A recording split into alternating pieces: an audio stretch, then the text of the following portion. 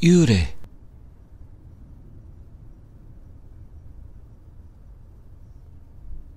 夏の終わりに僕は京子さんと出会った。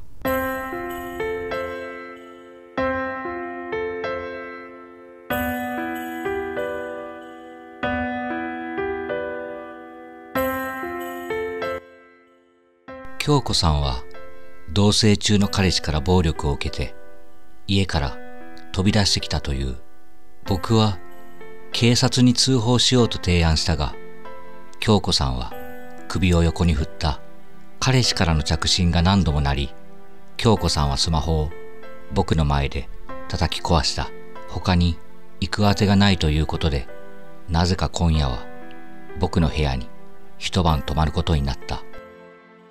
僕は工場に勤務していて、今から仕事に行かないといけない。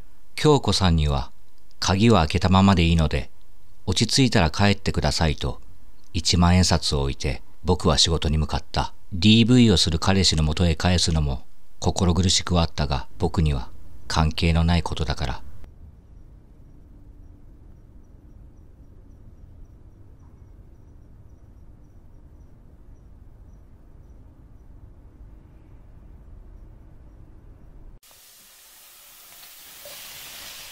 お帰りとキッチンに立つ京子さんがいて、僕は戸惑いながら、ただいまと返した。僕は現在43歳で5年前に7年連れ添った妻と離婚をした。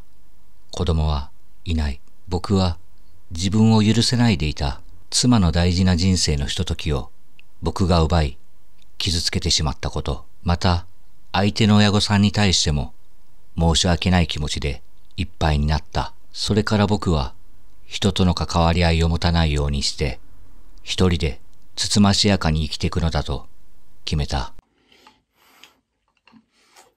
うま。マジうま。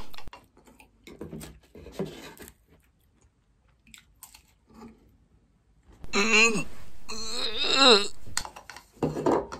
春巻きの中にからしやわさびやラー油を大量に詰め込んでいたらしい京子さんが初めて笑った。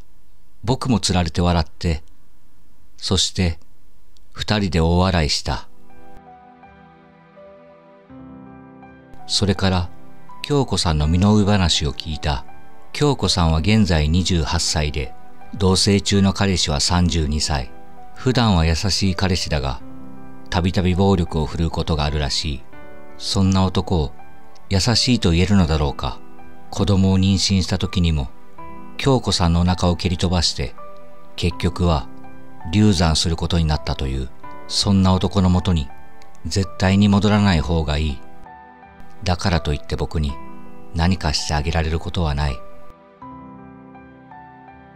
次の日も、京子さんは僕の家にいた。ネットショップで京子さんの衣類など必要なものを注文した外出するときは彼氏に見つからないように帽子とメガネとマスクをした。行く日も行く日も京子さんは僕の部屋にいて仕事から帰ると晩ご飯を作ってくれていて一緒に食べた。やがて二人でクリスマスパーティーをして大晦日を過ごして新年を迎えた。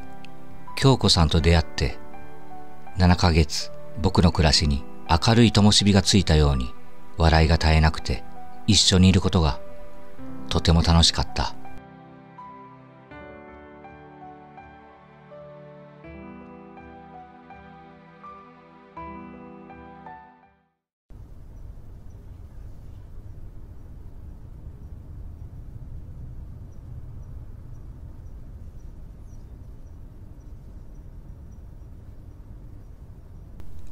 東京で一人暮らしをしていた妹さんと一緒に暮らすことになったと、京子さんからの置き手紙があった。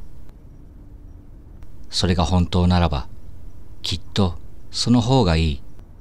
そこでまた新たな生活をスタートしてくれれば。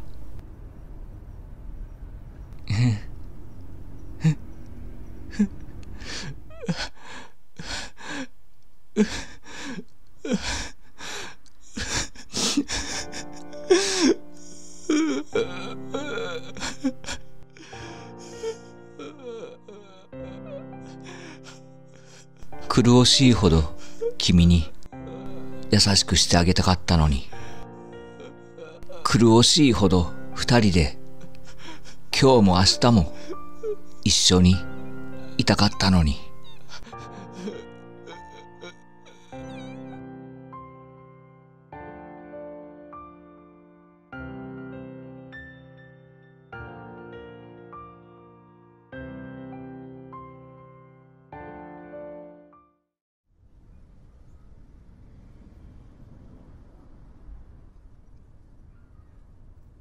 京子さんなら一週間前に出てったよ。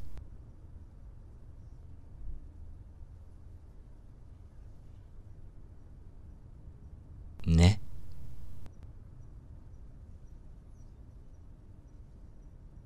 うっ。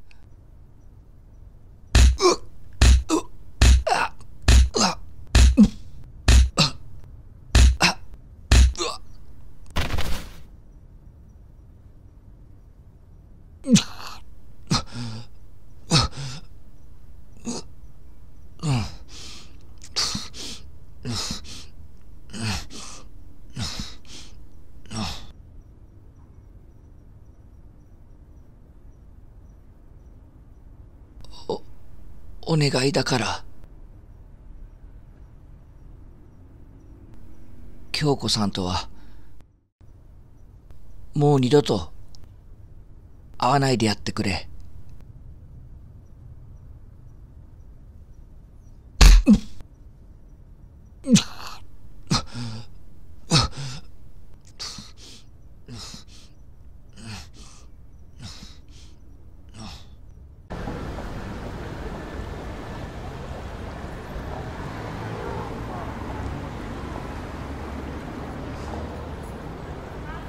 あの、何かあったんですか？あざだらけの若い女性の水死体が上がったらしい。京子さん。あの野郎ぶっ殺してやる。地獄の果てまで追い詰めてぶっ殺してやる。京子さん。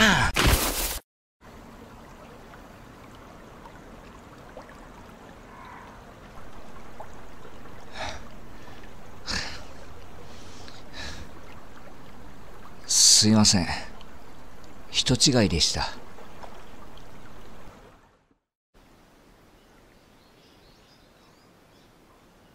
神様お願いします。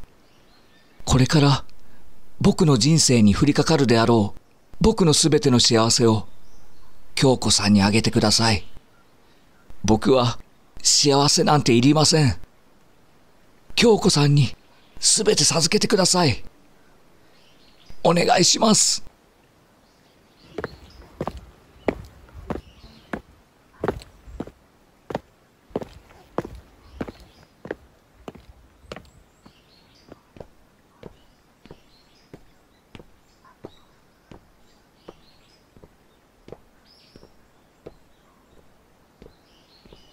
君の悲しみが痛いほど僕の傷跡に染みたけれど君と過ごした日々は僕の地獄に花の香りを運んでくれたんだ。